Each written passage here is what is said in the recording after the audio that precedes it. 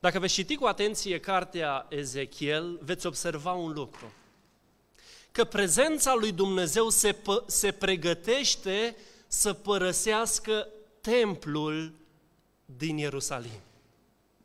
Și viziunea pe care Ezechiel a avut-o prezintă această lumină a lui Dumnezeu care se ridică de deasupra chivotului și în prima instanță se duce până la pragul ușii. O prima avertizare cum că Dumnezeu va părăsi templul. Și după aceea viziunea continuă și îl prezintă pe Dumnezeu care din cauza nelegiuirii poporului Israel face un pas mai departe și spune că prezența lui Dumnezeu pleacă din templu și se oprește la poarta de răsărit a Ierusalimului. Parcă Dumnezeu n-ar vrea să plece. Parcă Dumnezeu ar vrea să se întoarcă.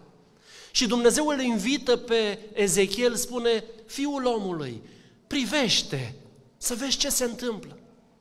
Și la poarta cetății oamenii se închinau unui zeu păgân. În incinta templului oamenii se închinau de asemenea uh, diferitor zei.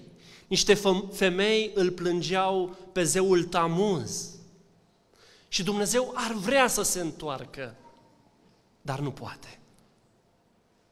Și după un timp, prezența lui Dumnezeu este descrisă de Ezechiel ca părăsind poarta cetății și oprindu-se pe muntele de lângă templu.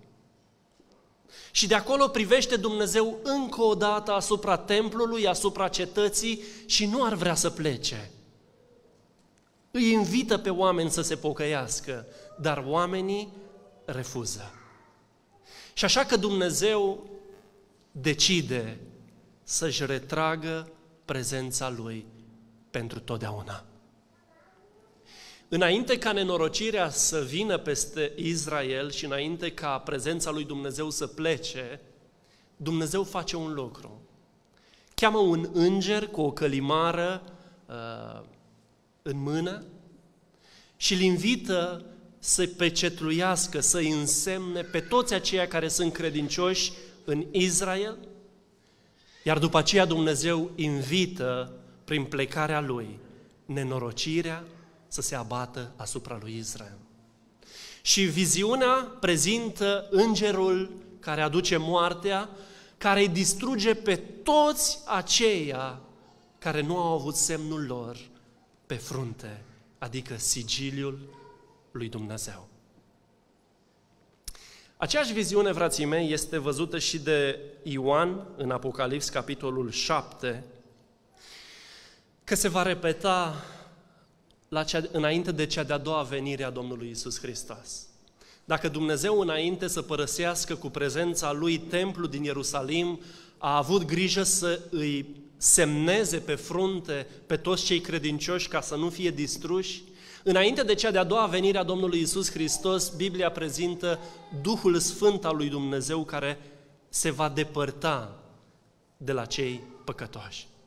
Și vă invit să deschidem în uh, ocazia aceasta Biblia în Apocalips, capitolul 7, și să citim împreună versetele 1 până la 3.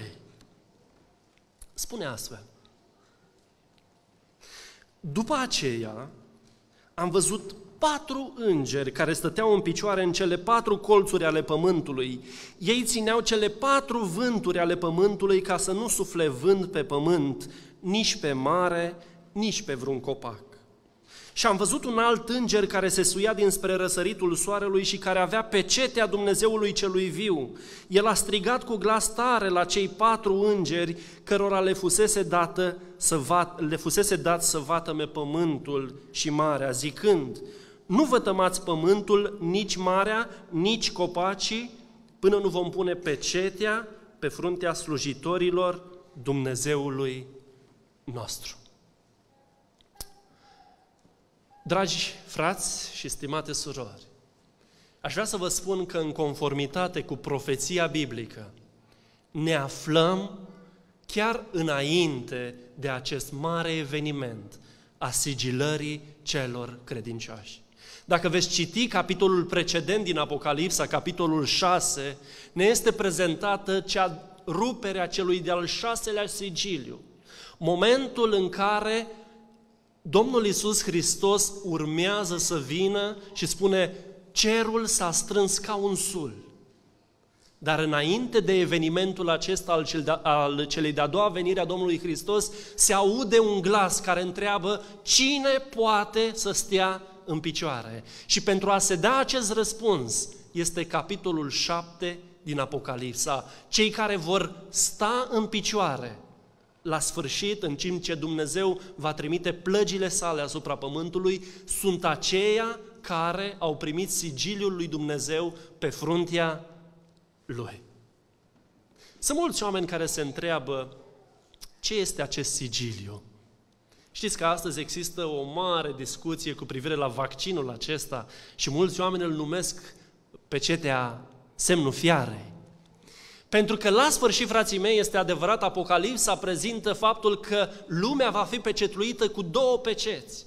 Sigiliul lui Dumnezeu, care va fi primit pe frunte, adică oamenii vor asculta pe Dumnezeu din dragoste și pecetea diavolului, care este numită semnul fiarei, care va fi primită pe mâna dreaptă, semnul unei acceptări formale, de frică sau pentru câștig sau pe frunte. Vor fi și oameni care se vor închina fiarei, sincer fiind, dar pentru că l-au părăsit pe Dumnezeu vor fi pierduți.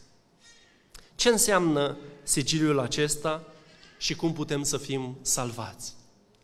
Știm cu toții că sigiliul în Biblie este numit a fi sabatul lui Dumnezeu. În Ezechiel, capitolul 20 cu 12, ni se spune că Dumnezeu ne-a dat un semn, un sigiliu care este sabatul său. Spune, v-am dat sabatele mele ca un semn, ca un sigiliu.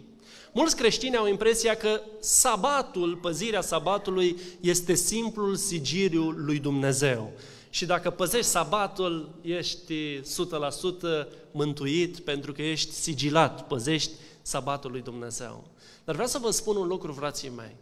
Sigiliul lui Dumnezeu implică mai mult decât păzirea unei zile de sabat.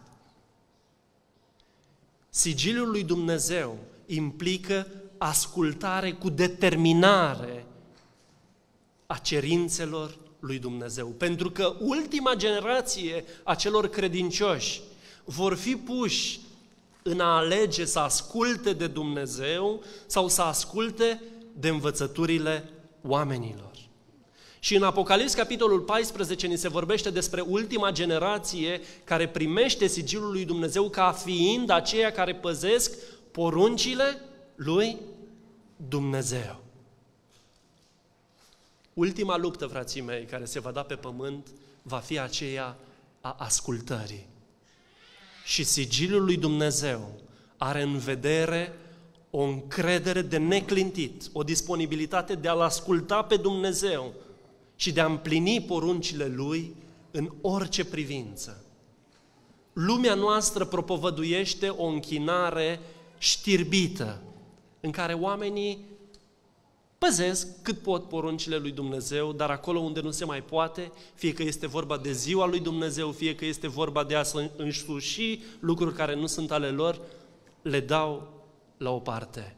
Cei care vor rezista la sfârșit și vor primi pe cetea lui Dumnezeu, vor fi aceia care nimic și nimeni nu-i va clinti de la a fi credincioși și a fi împlinitori ai poruncilor lui Dumnezeu pe pământul acesta. Chiar dacă își vor pierde viața, chiar dacă își vor pierde posesiunile, avantajele de pe pământul acesta, nimic nu-i va clinti.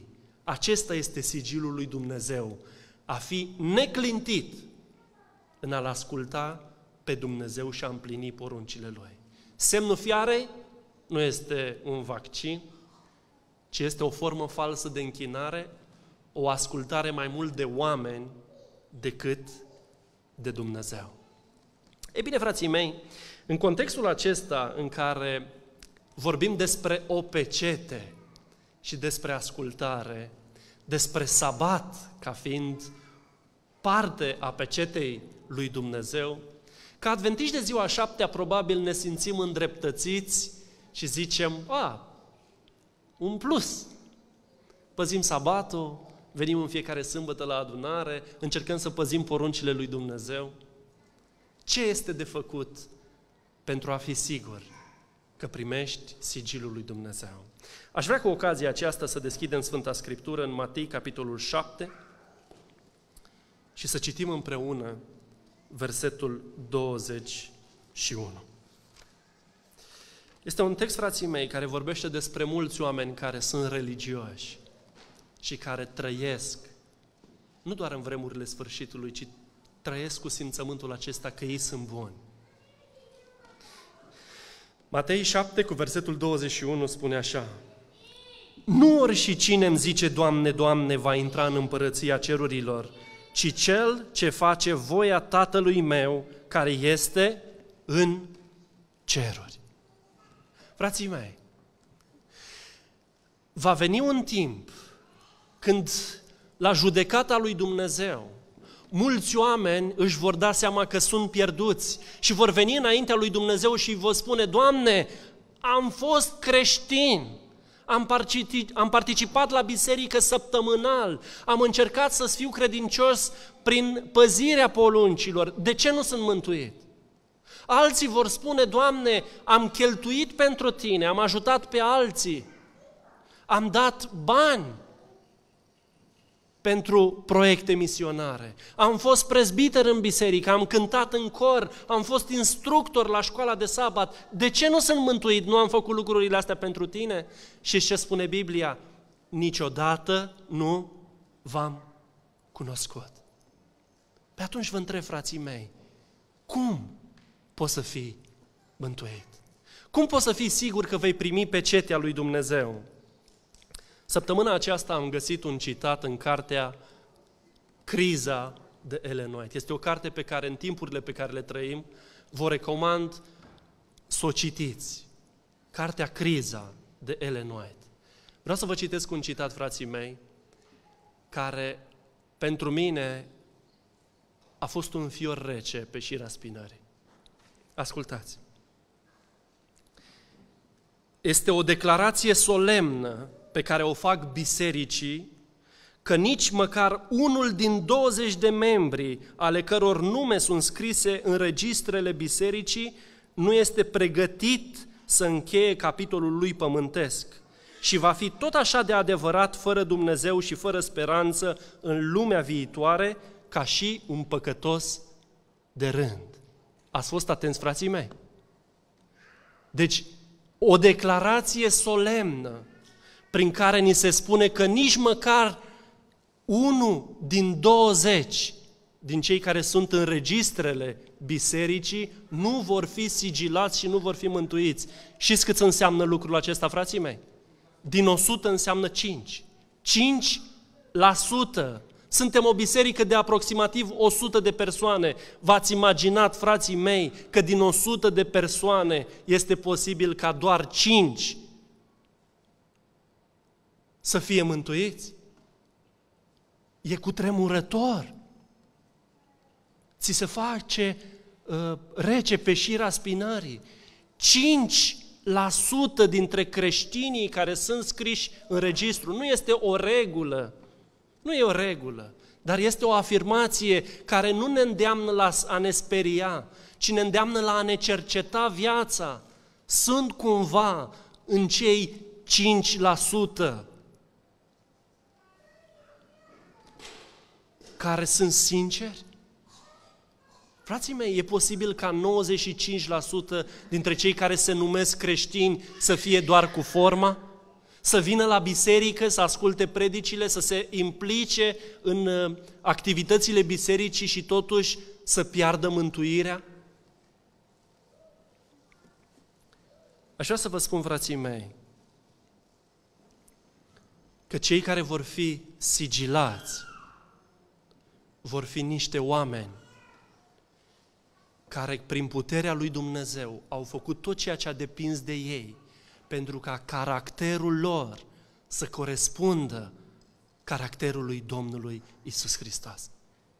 Îmi este teamă că sunt foarte mulți creștini care nu fac niciun efort ca să corespundă cu ceea ce Dumnezeu spune. Îmi este teamă că sunt extrem de mulți creștini care se mulțumesc doar cu faptul că vin la biserică săptămână de săptămână și n-au înălțat nici măcar o dată în viața lor rugăciunea, Doamne, ajută-mă să depășesc problemele din caracterul meu. Apostolul Pavel îi îndeamnă pe cei credincioși și le spune, pe voi înși vă cercetați-vă să vedeți dacă sunteți în, în credință. Frații mei, haideți să ne facem o introspecție la viața noastră. Pentru că sunt extrem de mulți creștini care au impresia că pentru că vin la biserică, Dumnezeu va trece cu vederea faptul că ei nu-și plătesc taxele. Sunt foarte mulți creștini care au impresia că pot să-L păcălească pe Dumnezeu nedeclarând veniturile lor. Și aceasta e o formă de a minți, frații mei. Sunt mulți creștini care au impresia că dacă vin la biserică și bârfesc, lucrul acesta îl va trece Dumnezeu cu vederea. Sunt foarte mulți creștini care au impresia că dacă ei sunt iubitori de bani și din banii pe care îi câștigă mai dau din când în când și celor săraci, vor fi mântuiți. Frații mei, niciun bârfitor nu va intra în împărăția lui Dumnezeu. Pe cine vom bârfi în cer? Pe Dumnezeu și pe îngeri? Niciun iubitor de bani și niciun lăudăros nu va intra în împărăția lui Dumnezeu. Cu cine ne vom întrece în ceruri? Cu îngerii și cu Dumnezeu? Invitația pe care Dumnezeu ne-o face astăzi este aceasta, dragă frate și dragă soră. Sigiliul lui Dumnezeu este pe punctul de a fi pus pe fruntea celor credincioși. Dar dacă nu ești dispus cu sinceritate și cu seriozitate să-ți analizezi viața și să-i ceri lui Dumnezeu schimbare și transformare, nu vei fi sigilat, pentru că Dumnezeu nu va pune sigiliu asupra unei biserici, ci va pune sigiliu asupra unor indivizi. Nu e suficient să vii la biserică. Nu e suficient să faci câte un bine din când în când, ci trebuie schimbarea vieții. Cum este viața ta?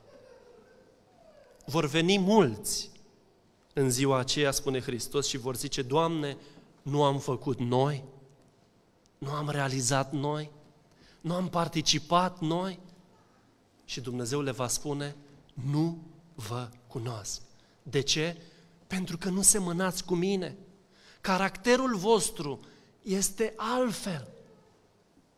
Dacă pe pământul acesta văzând că ne enervăm ușor, văzând că avem tendința de a fi incorrecți și a ne însuși lucruri care nu sunt ale noastre, dacă în lumea aceasta vedem că regulile pe care le știm clar, le încălcăm cu bună știință, nu facem nimic ca să-i cerem putere lui Dumnezeu să le depășim, frații mei, nu vom fi sigilați. Dacă în familia ta fiind soț sau fiind soție, îți dai seama că ai anumite carențe în relația de familie. Nu te comporți, cum spune Dumnezeu, cu soția ta sau cu soțul tău sau cu copiii tăi. Frații mei, vom pierde sigilul lui Dumnezeu. Sunt mulți creștini care au impresia că dacă ei îl iubesc pe Dumnezeu și participă din când în când la biserică, sunt unii care au impresia că nu trebuie să se căsătorească legal cu soțul sau cu soția lor. Și sunt mulți creștini, frații mei, care trăiesc în concubinaj. Și aceasta este păcat. Pentru că dacă știi că un lucru nu este bun și îl continui, nu poți să corespunzi cu caracterul lui Dumnezeu. Creștinii care vor primi sigiliu, frații mei, sunt aceia care și-au conștientizat greșelile în viața lor și au cerut putere de la Dumnezeu și au zis, Doamne, schimbă-mă. Când a fost ultima dată când am făcut rugăciunea aceasta? Doamne, schimbă-mă. Doamne, vorbesc de rău pe alții. Schimbă-mă. Doamne, am tendința să mă mândresc. Schimbă-mă. Doamne, anul acesta nu mi-am declarat taxele corect. Doamne, ajută-mă să nu mai fac greșeala aceasta. Doamne, anul acesta m-am comportat urât față de cei din jurul meu. Ajută-mă să nu mai fac lucrul acesta. Dacă nu dăm dovadă de lucrul ăsta, fraților, nu vom primi sigiliul lui Dumnezeu. Cu tristețe vă spun că în urma pandemiei acesteia primesc telefoane de la oameni care nu sunt creștini, care îmi spun, frate pastor, ai auzit de cutare membru din biserica ta? În perioada aceasta a pandemiei a păcălit statul cu nu știu câți bani. Frații mei, putem să primim pecetea lui Dumnezeu dacă noi ne însușim niște bani în urma unor declarații false, vă întreb. Nu se poate, frații mei. Poți să vii la biserică, poți să-ți dai zecimea din banii pe care ți-ai însușit nedrept. Nu vei fi mântuit. Pentru că creștinul, fraților, vă aduceți aminte de Daniel, l-au urmărit dușmanii lui luni întregi ca să găsească un lucru nepotrivit în viața lui. Și n-au găsit nimic. Aceștia sunt creștinii care vor primi pe cetea lui Dumnezeu, creștinii care nu înșeală statul, care nu înșeală pe cei de lângă ei, care sunt corecți. Frații mei, haideți să ne facem o evaluare sufletească și să facem rugăciunea pe care n-am mai făcut-o de mult. Doamne, schimbă-mă! Aceștia sunt creștinii care primesc pe cetea lui Dumnezeu. Cel de-al doilea aspect pe care aș vrea să-l subliniez astăzi este acela al creștinilor care zic eu cred în Isus Hristos și pentru că cred în Isus Hristos, Biblia spune crede și vei fi mântuit. Și sunt mulți creștini care se badă în piept că ei cred în Isus Hristos și se pun întrebări la evangelizări. Crezi în Isus Hristos? Da, cred. Gata, ești mântuit. Aș vrea să deschidem Biblia și să citim un pasaj din, evang- din epistola lui Iacov în care ni se explică cum stau lucrurile cu credința în Dumnezeu și cu mântuirea. Iacov, capitolul 2, cu versetul 19 până la 22, spune așa. Tu crezi că Dumnezeu este unul și bine faci, dar și dracii cred și se înfioară. Vrei dar să înțelegi, om nesocotit, că credința fără fapte este zadarnică. Avram, părintele nostru, nu a fost el socotit neprihănit prin fapte când a adus pe fiul său Isaac ca jerfă? Vezi că credința lucra împreună cu faptele lui și prin fapte credința a ajuns desăvârșită. Sunt mulți creștini care au impresia că dacă ei afirmă cu buzele că ei cred în Dumnezeu, sunt mântuiți. Vreau să vă spun un lucru, fraților, pe baza Bibliei. Nimeni nu va fi mântuit, indiferent de câte ori a spus că el crede sau ea crede în Isus Hristos, dacă credința aceea nu i-a schimbat viața. Pentru că Domnul Isus Hristos spune, după faptele voastre veți vedea ce credință aveți.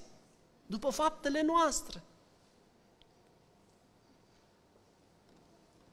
Atunci când crezi cu adevărat în Hristos, Hristos te va schimba.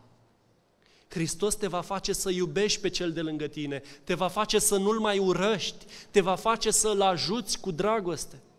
Hristos care locuiește în viața ta și credința pe care o ai în Isus Hristos, atât de tare vei fi îndrăgostit de Hristos, încât vei fi primul la biserică și vei fi primul care vei dori să te implici în lucrarea lui Dumnezeu. De ce? Pentru că ești îndrăgostit de Hristos. A declara doar cu buzele că noi credem în Isus Hristos nu ne face cu nimic altceva diferiți de demoni care și ei afirmau când Iisus Hristos a fost pe pământ, da, tu ești Fiul lui Dumnezeu. La ce i-a ajutat? La nimic. Pentru că credința mântuitoare este credința care ne transformă și ne schimbă. Dragi frați, stimate surori, vreau să vă spun cu cea mai mare sinceritate și cu cea mai mare responsabilitate. Ne aflăm chiar înaintea momentului în care Dumnezeu va pune pecetea Lui pe fruntea celor credincioși. În momentul în care pecetea va fi pusă, fie pecetea lui Dumnezeu, fie pecetea diavolului, în momentul în care pecetea va fi pusă, nu vom mai putea schimba nimic și soarta noastră veșnică va fi fost pecetluită pentru totdeauna. Astăzi putem încă face ceva. Putem încă să ne analizăm viața și să venim la Dumnezeu să-i spunem, Doamne, eu nu pot, dar Tu poți. Doamne, am păcatele astea în viața mea. Schimbă-mă, transformă-mă. Doamne, am săvârșit nelegiuirile acestea, incorectitudinile acestea. Doamne, iartă-mă și ajută-mă să nu mai fac. Ceea ce vedem în jurul nostru, incendii, ați observat ce a fost vara trecută în Australia și în alte zone, cu tremure, inundații. Vreau să vă spun, frații mei, că sunt doar o mică adiere a vânturilor care vor porni imediat ce pecetea lui Dumnezeu va fi pusă pe fruntea celor credincioși. În, în lungul istoriei, în timpul istoriei, cataclismele pe care le-am văzut nu au fost altceva decât momente în care mânia lui Dumnezeu a fost împletită cu mila sa. Însă ceea ce se va întâmpla în momentul în care pecetea lui Dumnezeu va fi pusă pe fruntea celor credincioși, va depăși, spune cuvântul inspirat, ceea ce s-a întâmplat în cetatea Ierusalim atunci când, evre- când romanii înconjurau cetatea.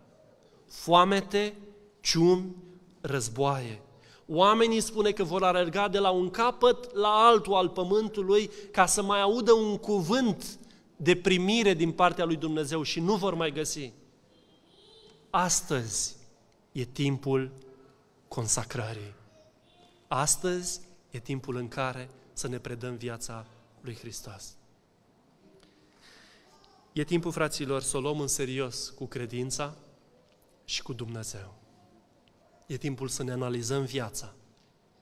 Și acolo unde nu corespundem cu ceea ce ne spune Dumnezeu că trebuie să fim, nu prin puterea noastră, ci prin puterea Lui. Să o cerem ca să putem să fim schimbați.